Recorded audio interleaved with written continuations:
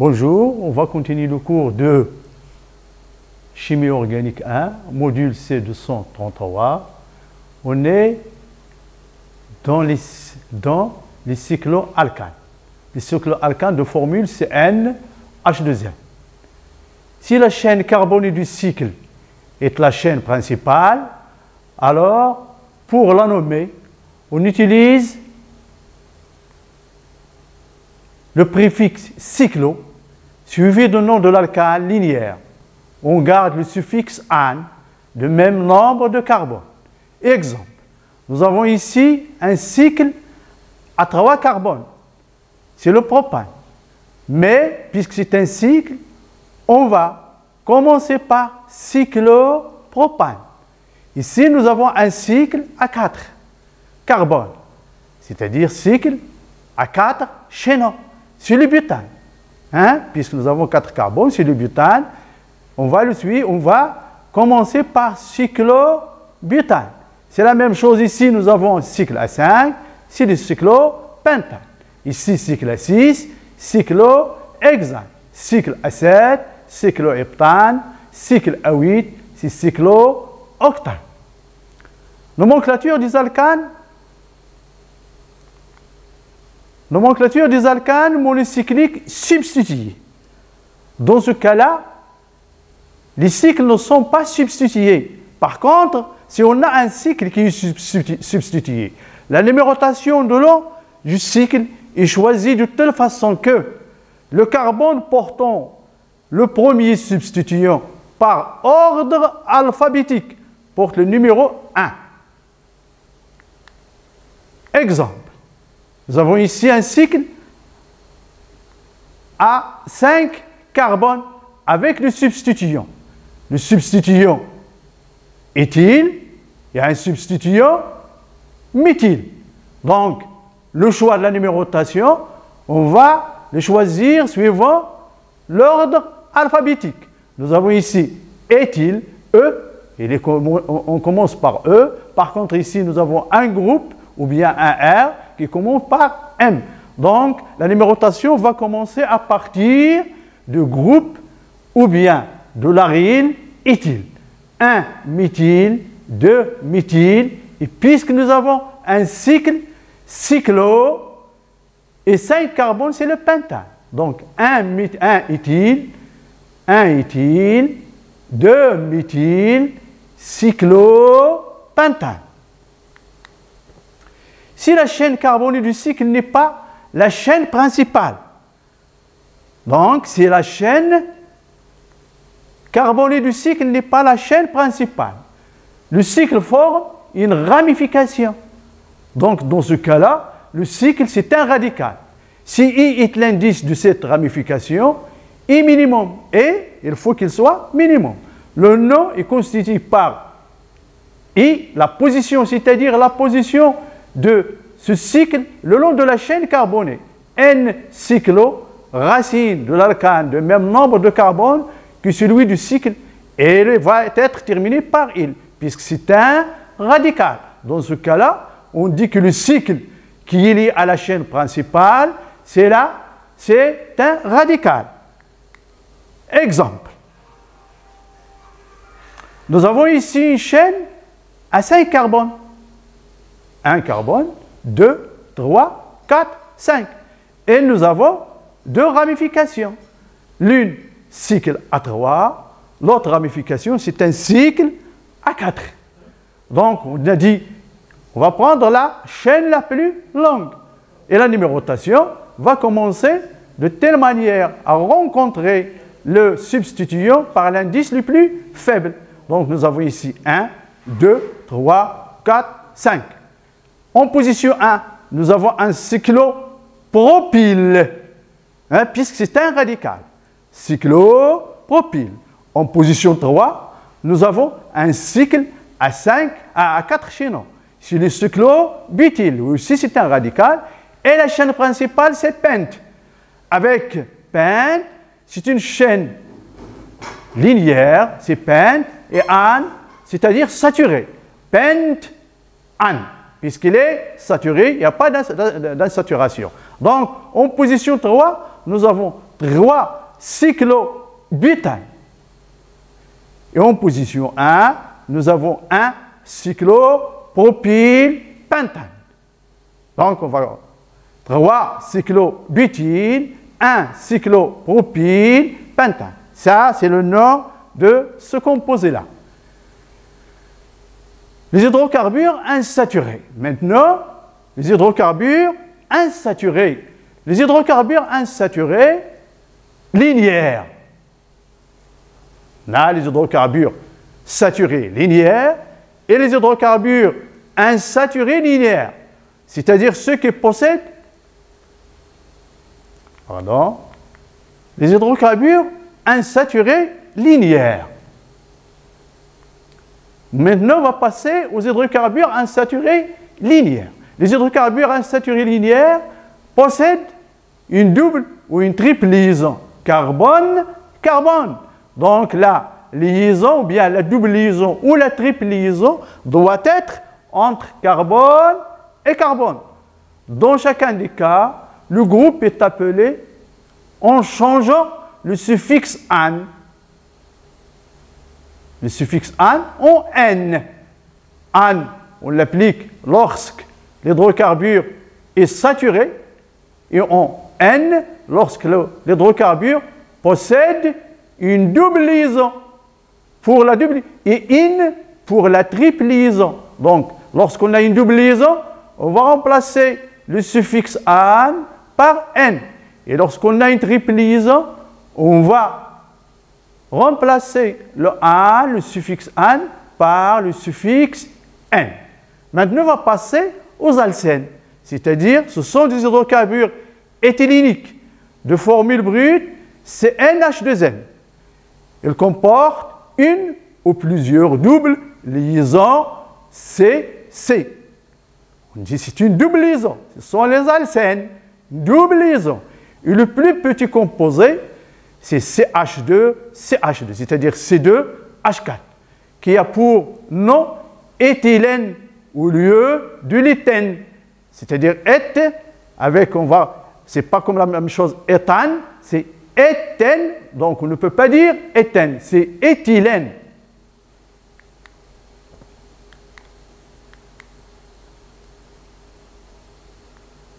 Pour nommer ce composé, on va appliquer la nomenclature, internationale.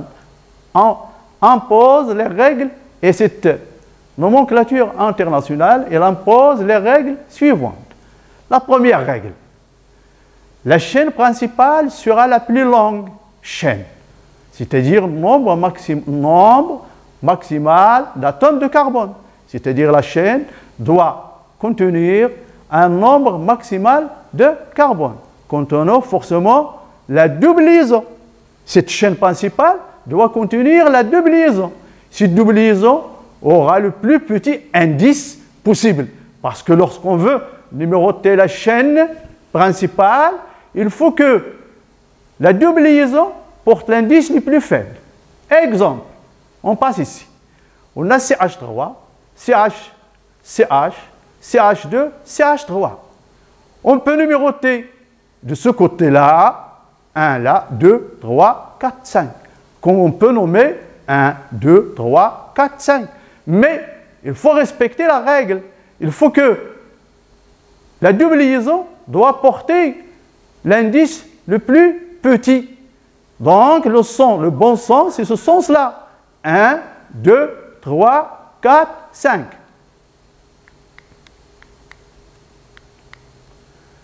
Et le nom, nous avons ici 5 carbones, c'est pente. La position de la double liaison, c'est en position 2, 2, et le suffixe n. Pente de n. La même chose ici, nous avons une chaîne qui contient 1, 2, 3, 4, 5, 6, 7. Voilà la première. On peut avoir aussi la chaîne suivante. 1, 2, 3, 4, 5, 6. Comme on peut avoir cette chaîne-là? 1, 2, 3, 4, 5, 6, 7, 8. C'est la plus longue, par contre, mais il ne contient pas du double liaison. Donc, la chaîne qui contient assez de carbone et l'insaturation, c'est cette chaîne-là. C'est 1, 2, 3, 4, 5, 6, 7. Donc, en position 3, nous avons une chaîne, hein, c'est-à-dire un radical. C'est en position 3, nous avons un groupe ou bien un R propyle. Le groupe propyle ou bien le radical ou bien le préfixe 3. En position 3, nous avons un radical propyle. Et notre chaîne, il contient 7 carbones, c'est hept. 1. À quelle position nous avons la double liaison C'est-à-dire en position 1. Donc 1N. 3 propyle, hept, 1N. Maintenant la règle 2. Lorsqu'il y a plusieurs doubles liaisons, on choisit la chaîne qui renferme le maximum de double liaison.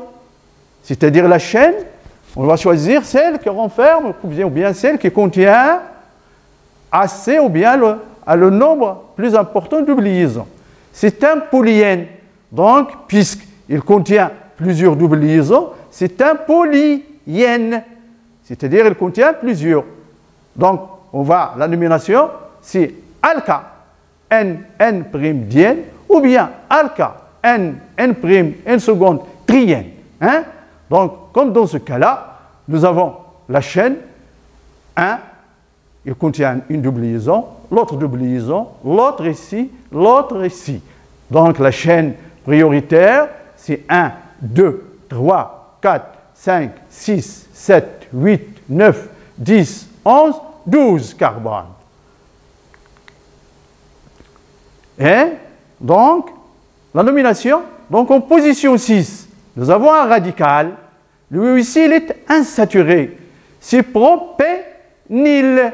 Propénil, puisqu'il contient lui aussi une insaturation ou bien une double liaison, c'est le énil. N et il. Il, c'est pour le radical et N sur pour la double liaison. 6 propénil et nous avons 12 carbones, c'est 2 cas. La position des doubles liaisons, nous avons une, une double liaison à la position 1, nous avons une double liaison à la position 4, à la position 7, une double liaison, à la position 10, nous avons une double liaison. Nous avons 1, 2, 3, 4. C'est le tétraène. 6 propényle, dodéca. 1, 4, 7, 10, tétriène. Voilà. Donc, on passe maintenant à la règle numéro 3. On peut préciser la stéréochimie Z ou E de la double liaison, s'il y a lieu. Donc, ça, c'est après dans le chapitre qui vient. Maintenant, lorsque, lorsqu'un substituant possède une double liaison, le substituant, on a dit, il possède une double liaison. Hein? Le nœud de ce groupe se termine par une précédé du numéro de l'atome de carbone de la chaîne principale. Le substituant possède une double liaison, comme dans ce cas-là. Donc, on dit, là, il se termine par énil. Radical, il se termine par énil. On a dit lorsque. Lorsqu'un substituant possède une double liaison, le nœud de ce groupement se termine par énil, précédé du numéro de l'atome du carbone de la chaîne principale. Exemple ici. Nous avons en position 6 un groupe propényl. Un groupe propényl. Donc, là, nous avons deux substitutions sur notre chaîne, un groupe méthyl en position 9, mais le méthyl là, il est, saturé. Un groupe en position 6, c'est le propényl. Donc, 9 méthyl, 6 propényl, avec 10 carbones sur la chaîne principale, DK, 2 en position 2, nous avons une double liaison. En position 5, nous avons une double liaison. En position 7, nous avons une double liaison. 2, 5, 7, trié. Ça y est? Donc, lorsque nous avons ces groupes-là, comme radicaux, sur la chaîne principale, on dit dans ce cas c'est un vinyle au lieu de l'éthylényl. Ici, nous avons allyle au lieu de prop de prime ényle. On dit le propényle au lieu de prop un prime ényle. La double liaison a la, a la priorité sur les substituants.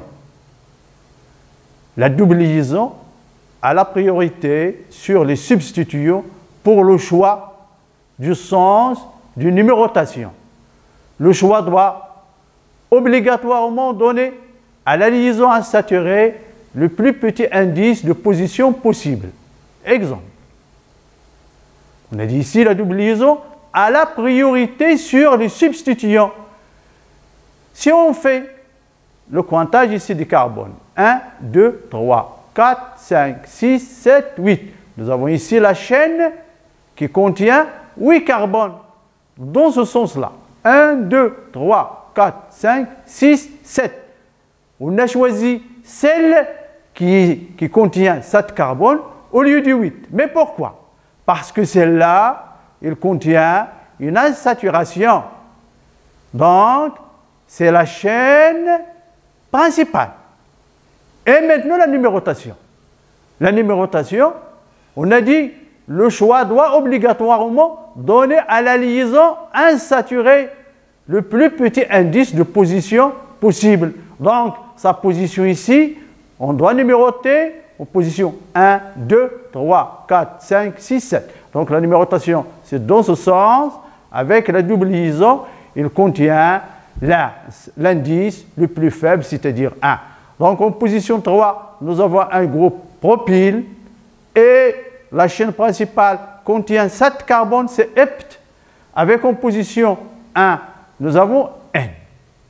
Donc 3 propyles, hept, 1, N. Maintenant, les cycles insaturés, parce que on peut obtenir aussi des cycles insaturés. Mais le choix de la numérotation des cycles-là, nous avons ici un cycle à 6 carbones, c'est cyclo-ex. Avec la numérotation, bien sûr, il va commencer à partir de la, de la double liaison de carbone qui porte la double liaison. Donc 1, 2, 3. Il faut qu'on passe par la double liaison dans la numérotation entre les deux carbones qui forment la double liaison. Donc 1, 2, 3.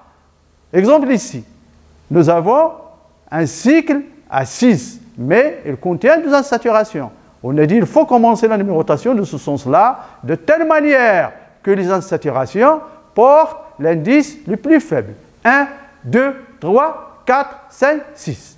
La même chose ici, le cycle A5. Donc ici, nous avons un cycle hexa 1, 3, diène. La même chose ici, nous avons un cycle A5. 1, 2, 3, 4. C'est cyclopenta. En position 1 et en position 3, nous avons des doubles liaisons. Maintenant, on va passer à la nomenclature des alcynes. Les alcynes, ce sont des hydrocarbures acétyléniques de formule brute CN H2N 2. Ils comportent une ou plusieurs triples liaisons avec le plus petit composé est l'acétylène et non l'éthylène. C'est-à-dire le plus petit composé carboné qui contient la triple liaison, c'est l'acétylène au lieu de dire l'éthine. Voilà. Donc c'est C2H2. c'est l'acétylène. Le nom d'un hydrocarbure insaturé avec triple liaison est formé par le préfixe l'hydrocarbure saturé correspondant. La terminaison an devient in. Donc, on va éliminer le suffixe an pour l'hydrocarbure saturé, on va le remplacer par in pour les hydrocarbures insaturés portant une triple liaison. Les règles exposées pour nommer les composés éthyléniques, c'est-à-dire les composés à double liaison, sont appliquées pour les alcynes. pour les composés contenant les triples liaisons. S'il y a plus d'une triple liaison, on utilise diène, triène, etc. pour former le nom. Exemple, nous avons ici un composé à une seule triple liaison. Avec la bien sûr, on va commencer à partir du carbone qui forme la double liaison avec son conjoint. 1, 2, 3, 4, 5. Pent. En position, nous avons in. Ici, nous avons notre composé avec deux triples liaisons. L'une en position 1, l'autre en position 3. Avec 5 carbones, c'est pent, ta, penta. 1,3-diène. Nous avons ici la même chose de 3 triples liaisons. 1, 2, 3, 4, 5, 6. C'est Maintenant, la nomenclature de composés comportant un mélange des doubles et des triples liaisons. Lorsque des doubles et triples liaisons se trouvent simultanément dans la même molécule, la chaîne principale contient un nombre maximal. Donc, pour nommer ce composé-là, il faut que, premièrement, le nombre maximal de liaisons multiples, c'est-à-dire la chaîne, il doit contenir un nombre maximal de liaisons multiples. Nombre maximal d'atomes de carbone. C'est-à-dire notre chaîne doit contenir un nombre maximal d'atomes de carbone. Troisièmement, il faut contenir un nombre maximal de double liaison en cas de choix. Parce qu'on peut avoir des doubles et des triples liaisons. En cas de choix, il faut contenir nombre maximal de doubles liaisons. La chaîne principale est numérotée de manière à donner des indices les plus petits à l'ensemble des liaisons multiples, en cas de choix ou double liaison. Donc le suffixe est PN, QN. On dit les énines ce sont les énines.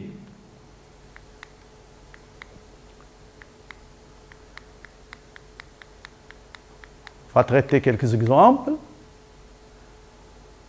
Maintenant, nous avons le premier exemple. Ici, nous avons deux numérotations. 1, 2, 3, 4, 5, 6, c'est-à-dire deux sens. 1, 2, 3, 4, 5, 6. Pardon. 1, 2, 3, 4, 5, 6, c'est carbone. Donc, en position 2 et 4, nous avons deux doubles liaisons. Une double liaison et une triple. Ce sens-là aussi, nous avons la triple liaison en position 2 et la double liaison en position 4. Hein?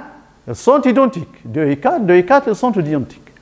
Donc, ici, si ex, puisque nous avons 6 carbones, ex de N en position 4, in.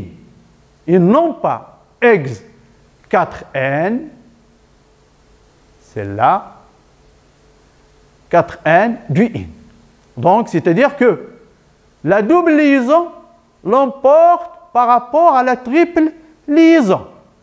On a les deux en même temps sur notre chaîne, mais selon leur position là, puisque si on commence la numérotation de ce sens-là, la double liaison se trouve en position 2 et la triple liaison se trouve en position 4.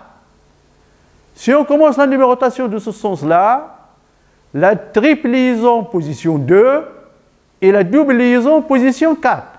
Mais c'est puisqu'ils sont en même position dans les deux sens-là, et alors c'est la double liaison qui l'emporte par rapport à la triple liaison.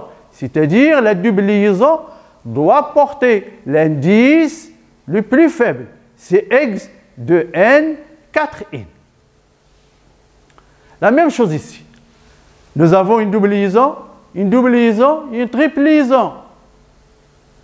Mais quel est le sens, le bon sens, la numérotation?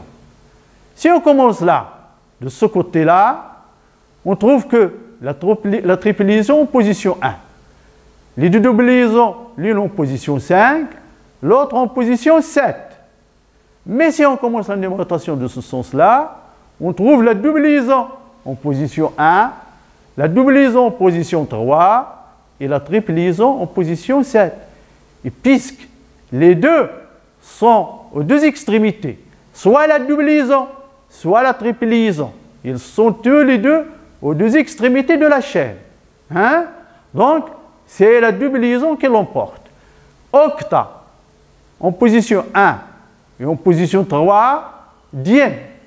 En position 7, nous avons la triple liaison. C'est 7, in.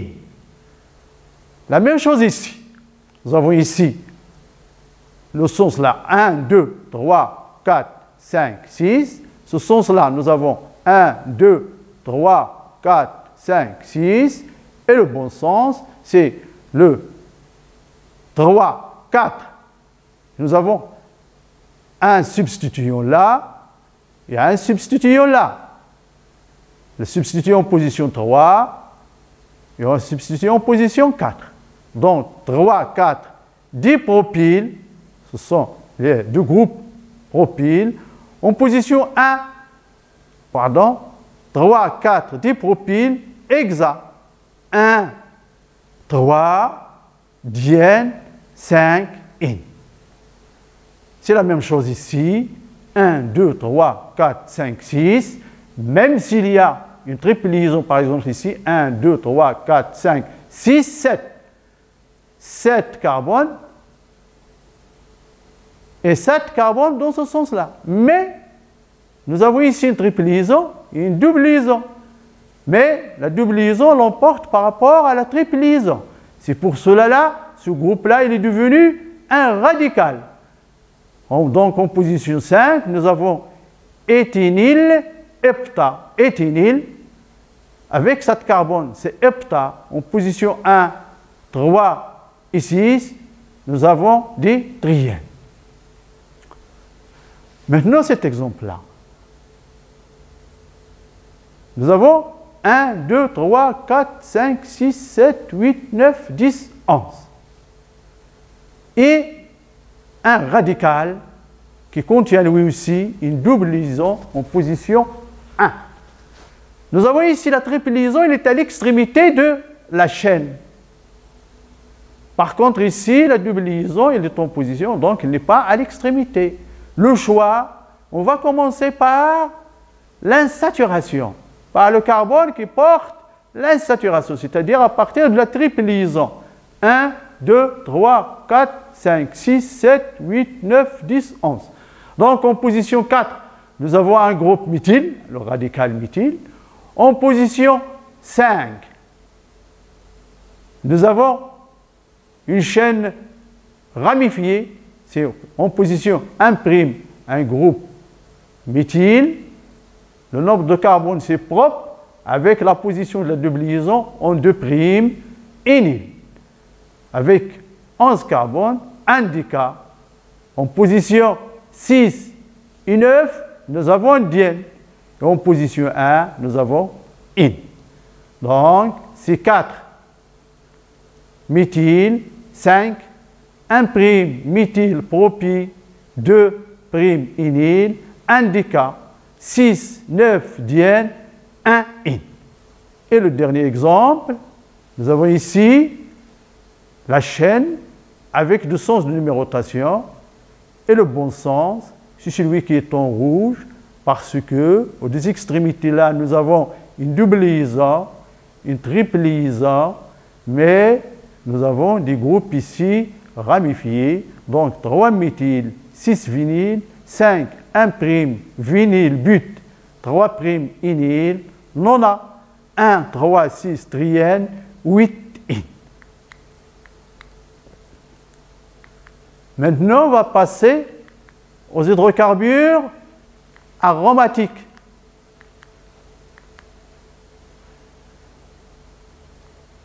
Un composé mono ou polycyclique est aromatique lorsque elle répond aux deux conditions, les deux conditions. Elle possède des doubles liaisons alternées. Voilà.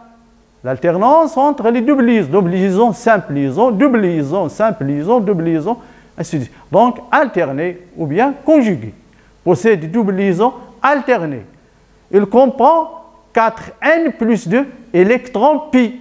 Voilà ici les électrons pi. 1, 2, 3, 4, 5, 6. N, N est un, étant un nombre entier. Donc, 4n plus 2. n doit être 1, 2, 3, et ainsi de suite. Donc, si n est égal à 1, il faut avoir 6 électrons, comme dans ce cas-là. 1, 2, 3, 4, 5, 6. Ce qu'on appelle la règle du Huckel. Donc 4n plus 2 électrons pi. Comme ce cycle-là, il est aromatique, oui, les doubles liaisons sont conjuguées ou bien alternées, et il possède et il répond à la règle 4n plus 2 électrons pi. Ce composé-là, est-ce qu'il est aromatique L'alternance entre les doubles liaisons, il y a l'alternance, oui, mais il ne répond pas à la règle 4n plus 2. Donc c'est un composé non aromatique. Ce composé-là, les doubles liaisons là, elles ne sont pas alternées. Voilà, l'une des conditions n'est pas correcte, mais elle répond à la règle de 4n plus 2. Donc c'est un composé non aromatique. Le plus simple des hydrocarbures aromatiques est le benzène. C'est C6H6. C6H6, il est représenté par le benzène, un cycle avec l'alternance de liaison, ou bien on va représenter là par un rang. Maintenant, la nomenclature du composé benzénique substitué. Ce noyau-là, il est substitué. Le benzène monosubstitué. La chaîne principale sera ici le benzène. La chaîne principale, il sera le benzène. Le nom de composé sera formé de le nom de substituant suivi du mot benzène. Mais la plupart ont des noms usuels au lieu des noms systématiques.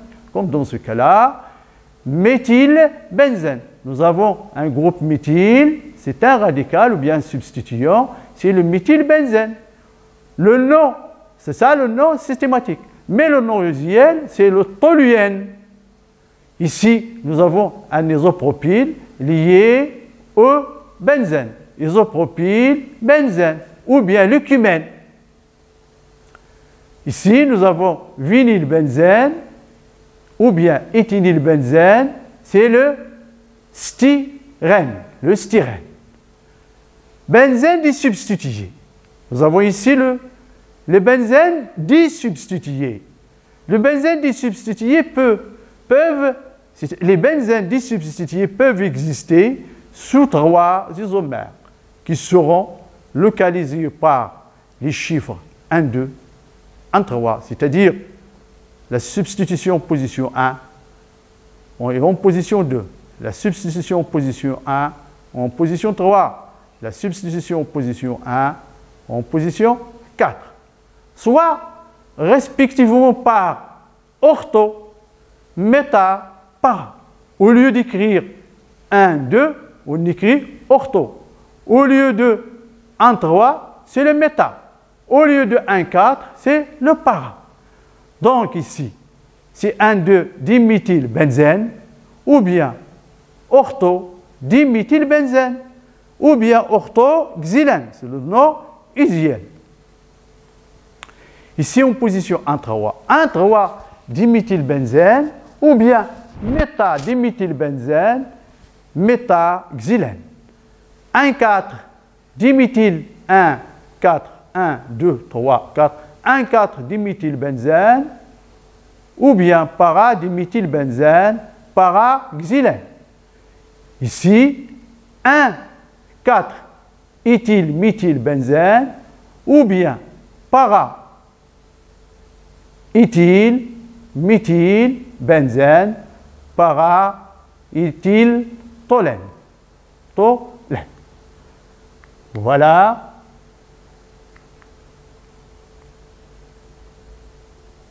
benzène polysubstitué le cas des benzènes polysubstitués dans ce cas seulement on numérotera de telle façon que l'ensemble des indices obtenus pour les constituants soit le plus bas possible. Comme dans ce cas-là, nous avons un groupe en position 1, 2, 3, 4. Donc 1, 2 et 4. 1, 2, 4, trimethylbenzène. Ici, on va, puisque ces groupes-là sont identiques, mais lorsqu'on a des radicaux qui sont différents, on va numéroter suivant l'ordre alphabétique. Comme dans ce cas, nous avons un groupe éthyle. En position 2 et 3, nous, avons deux groupes méthyl, donc 1 éthyle, 2, 3 benzène. Maintenant, on va passer à la nomenclature des composés contenant des fonctions. Les fonctions qu'on peut rencontrer, il y a la fonction acide carboxylique, sous la forme COOH. L'ester, sous la forme COOR. Les adjunures d'acide, COX avec X, il peut être un chlore, un brome, un iode, fluor. Les anhydres, CO, CO, C double liaison. Les aldéhydes, COH. Les amides, CON. Les cétones, CO. Les nitriles, C triple liaison avec l'azote. Les alcools, COH. Lithiol, CSH. Les éthers, COC. Les amines, CN. Donc voilà là, on va y traiter les hydrocarbures contenant les hétéroatomes, comme l'oxygène, l'azote, le soufre, les halogènes. Donc, les composés contenant les hétéroatomes. Donc on a dit pour nommer ou bien donner le, nom systématique d'un composé, on commence par les substituants. La chaîne carbonée principale. S'il y a des doubles liaisons, sinon on aura un an ou bien n et in. Et la fonction principale. La fonction principale. Donc lorsqu'on parle de la fonction principale, on a des hétéroatomes le long de notre chaîne carbonée. Donc, on peut avoir des acides carboxyliques, comme on l'a dit sous la forme COH, qu'on va le nommer. Donc, à ce moment-là, ça dépend de la position de la chaîne. Est-ce qu'elle est prioritaire ou bien parce qu'on peut obtenir des composés carbonés ou bien des hydrocarbures contenant plusieurs fonctions. À ce moment-là, il faut soit cette fonction, s'il est principale, on la nomme par son suffixe. S'il est secondaire, on va la nommer selon son préfixe. Hein? À ce moment-là, il devient un substituant. Si la chaîne principale, il devient un suffixe. Donc, voilà l'ordre de choix. Donc, si si les acides carboniques se classent en premier lieu, suivi des esters, suivi des hydrogénures d'acide, des amines, les nitrines, les aldéhydes, les cétones, les alcools, les thiols, les amines, les éthers oxydes. Donc, maintenant, nomenclature de détermination de la chaîne principale. La chaîne principale premièrement, doit contenir la fonction principale. La chaîne principale doit contenir la fonction principale. S'il y a plusieurs fois la fonction principale, la chaîne principale en contient le nombre maximum. Elle doit contenir le nombre maximum de liaisons multiples, c'est-à-dire les liaisons doubles et les liaisons triples. Doit être la plus longue possible, plus grand nombre d'atomes de carbone doit contenir, contenir le nombre maximum de doubles liaisons. Mais les liaisons multiples, c'est-à-dire les triples et les doubles, doit le nombre maximum, maximum de doubles liaisons doit porter le nombre maximal de substituants. En cas d'égalité, il doit contenir celui qui, portera le numéro le plus petit dans la numérotation de la chaîne. S'il y a toujours égalité, il doit contenir le premier substituant dans l'ordre alphabétique. Maintenant, on va passer à la nomenclature des dérivés halogénés. J'ai dit, on va commencer par la nomenclature des dérivés halogénés. Les dérivés halogénés sous la forme de Rx, c'est-à-dire la chaîne carbone ici R, avec le substituant X, qui peut être un fluor, un chlore, un brome ou l'iode. Ils ne sont jamais, ces composés-là, ou bien ces groupes-là, ils ne sont jamais prioritaires. Hein? Ils sont toujours désignés par des préfixes. Ils sont désignés par des préfixes au lieu du suffixe. On nomme les dérivés halogénés en faisant précéder le nom de l'hydrocarbure, l'hydrocarbure correspondant des préfixes halogénaux. Exemple, ici nous avons un brome avec une chaîne 1, 2, 3, 4 carbones, but, 2 bromobutane, puisque c'est une chaîne saturée. En position 2, nous avons un groupe de brome, un, BR, 2, donc 2 bromobutane. On a dit, on nomme les dérivés halogénés en faisant précéder le nom de l'hydrocarbure correspondant des préfixes halogénaux fluoro, chloro, bromo, précédés eux-mêmes des indices de position. Ici, nous avons deux groupes halogènes, ou bien deux halogènes, un chlore et un fluor. L'un. Donc, on va numéroter à partir de chlore ici 1, 2, 3, 4, 5, 6. 1 chloro, 5 fluoro, 4 en position 4, nous avons un groupe méthyle. En position 5, nous avons un groupe méthyle. Donc 4, 5, diméthyle, exact. C'est ça, la nomenclature des dérivés halogénés. Et on termine notre séance jusqu'à la séance prochaine, Inch'Allah.